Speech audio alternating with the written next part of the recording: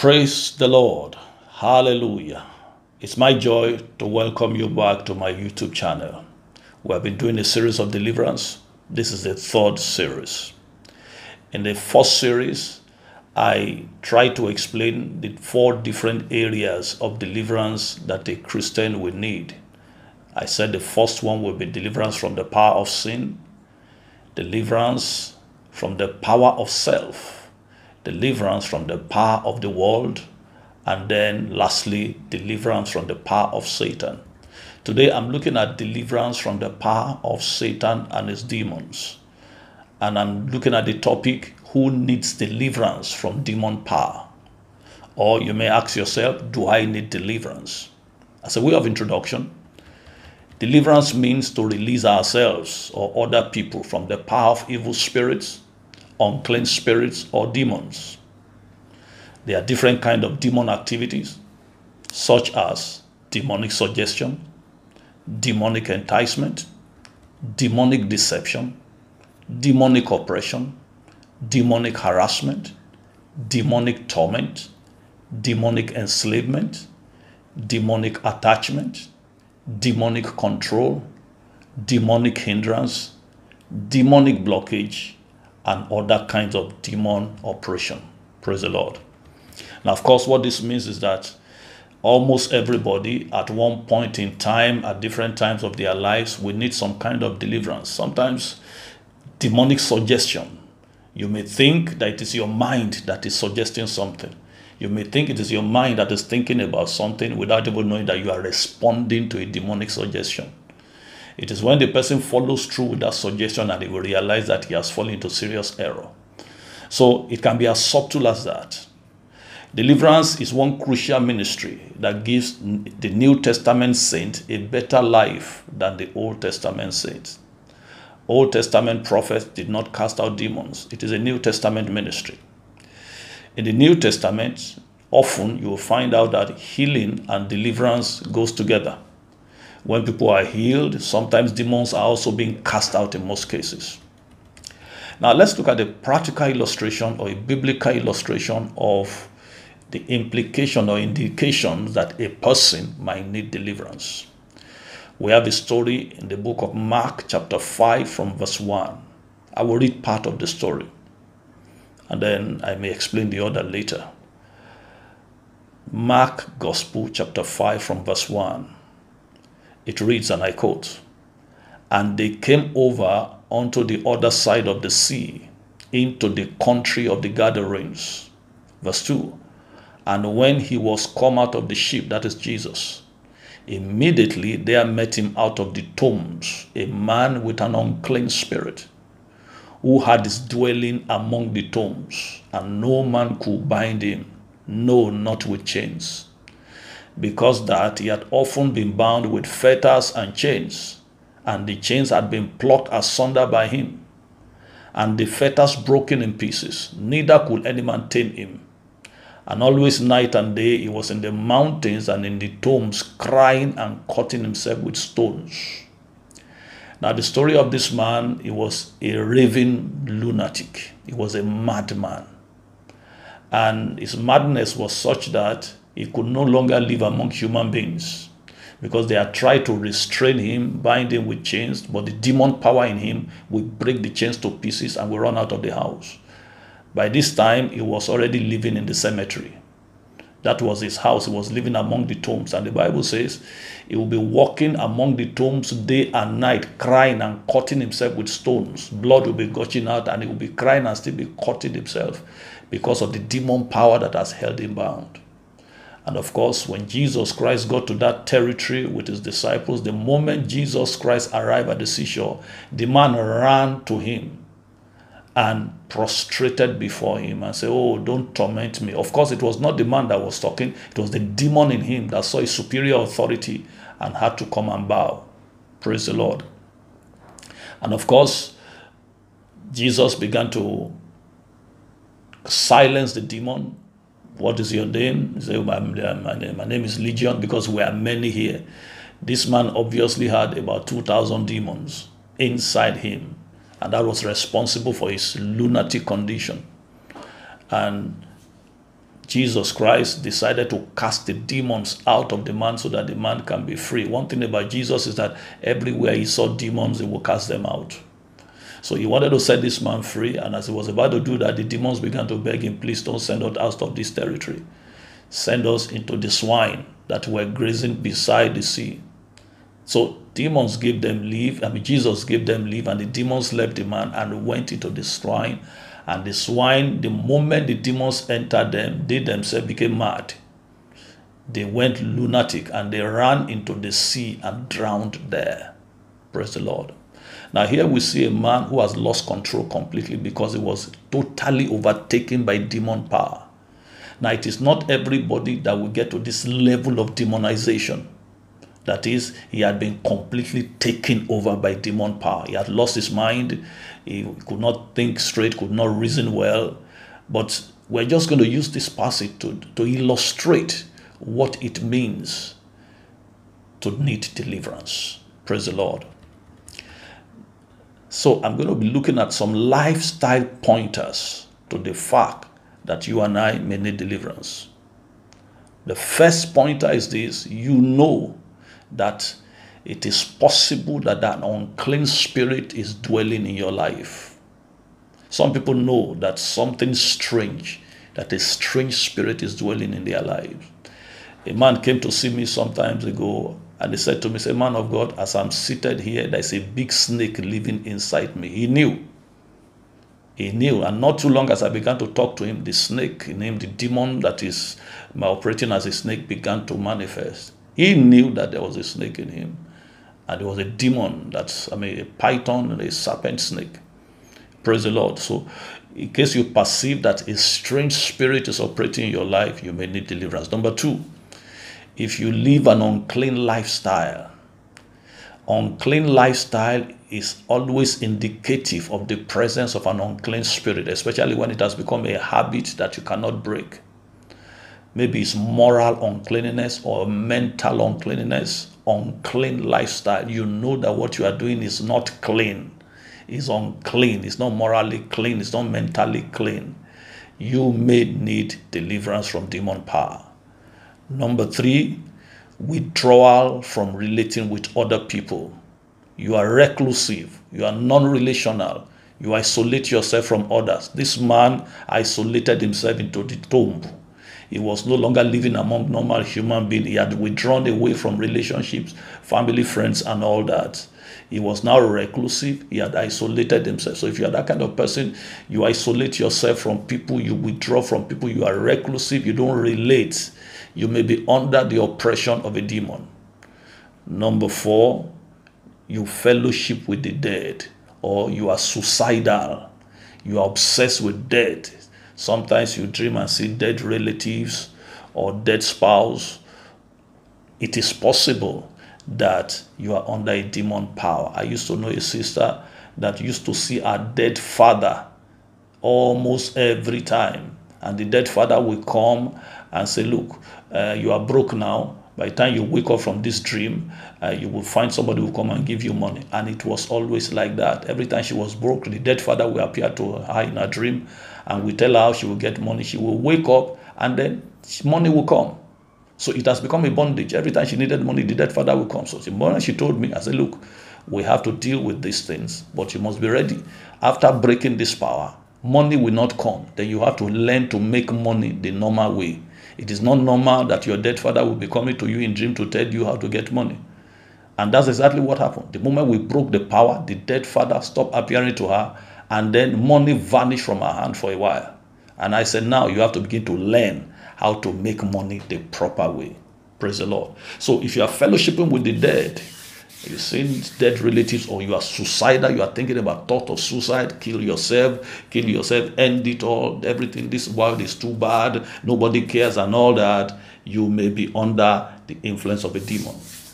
Number five is nakedness. This man was stark naked, he was wearing nothing. It is common on the street of Africa to see lunatics walking about stark naked, wearing nothing. is one of the signs that somebody is under a demon power. Uh, some of our ladies who are who try to be fashionable, they are always posting themselves nude on Facebook, nude on social media. It's not normal. If you are somebody that you are given to nakedness, you just like to be nude. Something may be wrong with you. You may need spiritual attention. You may need deliverance. Number six, restlessness. This man had no peace. He was always walking about, walking about, walking about, moving from tomb to tomb, from one gravestone to another gravestone, crying, cutting himself, never had rest. When you see somebody who is restless, he lacks peace, he does not have focus, full of anxiety and fear and this person is always moving from one place to the other. When you see mad people on the street of Africa, they're always roaming about, roaming about from one street to the other. They may be in Obalende now. Before you know what's happening, you have seen them in Oyingbo. They'll be walking about. That's restlessness. It's a sign that somebody is under the control of a demon power. Number seven, difficulty in controlling one's action. You can't control your emotions. You can't control your speech. You can't control your thoughts. This man has lost control of everything. He could not control himself. He'll be cutting himself with stone. He'll be crying, and yet he will not be able to stop. He had lost control. So if you find it difficult to control yourself in one area or the other, I used to know a young man who was masturbating for 21 years every day. He was masturbating for 21 years every day. He couldn't control it until he went through deliverance and the power was broken and he was set free and completely masturbation stopped. I used to also know a pastor who was under a demon power of homosexuality and he has been in, under that influence since he was a teenager. By the time I was talking to him, he was over 40, going to his 50. He was still a, he was still an homosexual until he received prayer and that demon power was broken and he was set free. Praise the Lord. So when you have difficulty controlling certain things you do, you know those things are not right. For example, you go into fits of anger after you have damaged a lot of things. You now come back to your senses. Ah, why did I do this? Why did I do that? You may need deliverance from demon power. Number eight, cursing or a tongue that is used to profanity you see people cursing their children. I mean, the, the child you you give birth to, the child you raise to the send to school, you'll be placing curses on the children, saying negative words, or you are used to profanity. You're always cursing. Every opportunity you are cursing. You may have a demon that is making you to do that. Sometimes a demon may sit on your tongue and making you to be cursing. Number nine, violent behaviors and attitude. This guy was violent. Nobody could bind him, nobody could control him. People were tired of trying to restrain him, so they left him to himself. So when you have violent behaviors, violent attitude, when you have little problem with people, you go violent and all that, you may be under a demon control. Number 10, loneliness and weeping. This man was lonely in the graveyard and he will be crying and cutting himself. There are people who lock themselves in their room, they have no friends, they are lonely and they will be crying all day alone there. Those are demon oppression. It is the devil that isolates people to destroy them. It's a principle the devil uses. It will isolate you from friends, from those who can help you, those who can counsel you, so that they can destroy you. So when you're going through loneliness, no friend, no relationship, and you are alone in depression, weeping, you need to be rescued from demon power. Number 11, self destructive actions, suicidal actions, suicidal thoughts. You do things with the tendency to destroy yourself, even though without intending to do so. You need to be rescued from demon power. Number 12, sorrow as, or sadness that gives you no respite sorrow. The person just feels sorrowful and sad, and there's as if a weight is sitting on him, a weight of depression and, and melancholy. The person just be weighed down, be weighed down, be weighed down as if he's going to die there. That is demon power. It's the spirit of depression, melancholy, spirit of suicide. If that continues after a while, the person will begin to think of suicide and eventually commit suicide. Number 13, insomnia you cannot sleep. You are always awake through the night. Your mind is traveling up and down. It may also be a demon power. Praise the Lord. Number 14, confusion of the mind. You can't think straight. Your mind is always confused. You are going to do this one time. The next time you say you are going to do another thing. You are never straight. You are never settled. It may be a demon power. Number 15, compulsive behavior like something is driving you or pushing you to do something against your will, that is also a manifestation of demon power. Number 16, incurable bodily affliction. Once some affliction in the body are incurable, they are not incur- they are not curable by medicine, they are not curable by counsel or hygiene and all that. You have done everything that's not curable. It is possible a demon is responsible, and once you deal with the demon, you will find out that the affliction will take its leave. Praise the Lord. Hallelujah. Now, those are just indications of what it might mean to need deliverance from demon power. Don't forget that illustration from Mark chapter 5. Now let's look at three operational areas of demons in human life. Number one, the body. Demons operate in the body. They can latch on the body of an individual and afflict the person with disease and infirmity. Praise the Lord. Those are what we call disease and infirmity demons. Almost all the deliverance ministration of Jesus in the Bible involve disease and infirmity demons. You will see that people will be healed, demons will be cast out. Number two is demons operate also operate in the soul. This is the strongest area of demon operation. The man we are talking about here the demon are taking over his soul. They have controlled his mind. We call these control and deception demons. They are demons that walk with the soul. They are control and deception demons. They control the mind. They walk on the mind. They walk on the thought. They walk on the imagination. Number three demons walk in the spirit. Amen the spirit and this is a manifestation of the spirit of death and damnation. We, we call them death and damnation demons demons that make sure that you don't get born again. They will do everything to make sure you reject the gospel reject the message of salvation. They will make sure you do not get born again so that you can die and go into eternal damnation in hell fire these are the three operational areas of demon. Any demon you will meet that you will encounter in deliverance will fall into these three areas the one that operates in the body, the one that operates in the soul, the one that operates in the spirit. But remember, the soul is the control center. Your mind is what the devil is actually looking at. The devil can put disease in your body, but what he really wants is to take control of your mind. That is why the Bible says in Proverbs chapter 4, verse 23, say, guard your heart with all diligence, for out of it are the issues of life. Your mind is the stronghold of your life. And that is where the devil is actually at, at targeting. Any attack of the devil is directed at your mind. It's actually trying to get to your mind to seize control of that your mind. Once it takes control of your mind, you begin to use your mind to serve him. And there are a lot of people in the world today who are using their mind to serve the devil, using their intellectual capacity, using their emotional, I mean, emotional capacity to serve the devil. In Second Corinthians chapter 10 verse 3 to 4 it says for though we walk in the flesh we do not walk after the flesh. For the weapons of our warfare are not carnal but mighty through god to the pulling down of stronghold. Where are the stronghold? Casting down imagination and every high thing that exalts itself against the knowledge of christ. The real stronghold we need to break in deliverance is in the mind. If we cast out devils and your mind has not been rescued from controlling powers, from lies and falsehood of the devil, you will realize that you will be bound again because the real control power is in the mind. And that's why I tell people deliverance begins with truth. You shall know the truth and the truth will make you free. Praise the Lord. 50% of deliverance is knowing the truth the remaining 50% is application of the truth. Hallelujah. Praise the Lord. Now, let me just share some steps to release before I begin to pray with you. Hallelujah. It's similar to what I shared the other time, but I need to say it again for emphasis sake. Step to release from demon power. Number one, genuine encounter with Jesus Christ. Again, having a religion cannot stop demon power in your life. The only one that has the power to set us free from demon power is the Lord Jesus Christ. Number two, if you know how the demons came in, you know what you did that made the door to be opened for demons to invade your life, please repent from those things and receive forgiveness from the Lord. Hallelujah.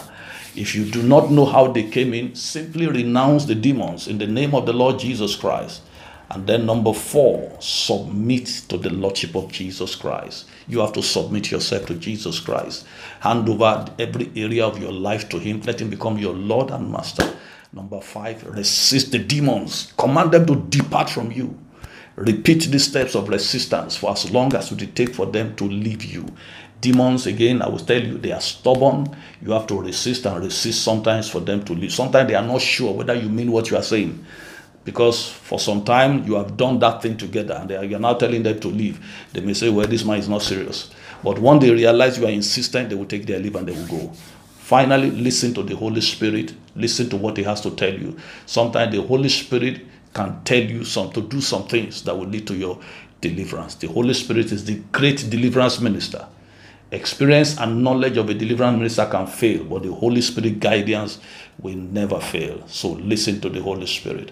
If you find out that you are losing control while trying to pray this deliverance prayer, you are getting dizzy or you are beginning to fall down or lose your balance, it means that the demons involved cannot be handled on your own. You may need the help of your pastor or a trusted deliverance minister of the same sex. Praise the Lord. Hallelujah. I'm going to stop here for today and I would like us to pray now. Say with me, Father, in Jesus' name, I receive Christ the Lord as my Lord and Savior. I ask that the cleansing power of the blood of Jesus will wash me clean from all my sins. I forsake my sins today. I renounce the devil and I renounce sin. I accept Jesus into my life today to take absolute control of my life. In the name of Jesus, I open my heart for the Lord Jesus to come in and be the Lord and Savior of my life. In Jesus' name, I, as the Lord Jesus Christ comes into my life today, I decree and I demand that every demon power that has invaded my life take their leave now and go in the name of Jesus Christ of Nazareth. Amen. Now I'm going to pray with you. I take authority against the power of the devil in your life right now. Wherever they are hiding, wherever they are coming from, I rebuke those devils. I command them to go in the name of Jesus. Be free from that demon power from today. In Jesus' name. If you are sick in your body, lay your hand there right now. I'm praying a prayer of healing for you. The Lord Jesus Christ is a healer. In the name of Jesus, I rebuke that sickness. I rebuke that disease. I command it to get out of your body now in the name of Jesus. I command that you be healed completely, be made well from the crown of your head to the sole of your feet. In Jesus Christ's name. Amen. Congratulations for your deliverance. Congratulations for your healing. If you have not subscribed to this channel, please do so right away so that you will get notifications of future videos that will be released for your deliverance, for your freedom. I want you to be free and you will be free in Jesus' name. You will know the truth and the truth will make you free. God bless you. Thank you.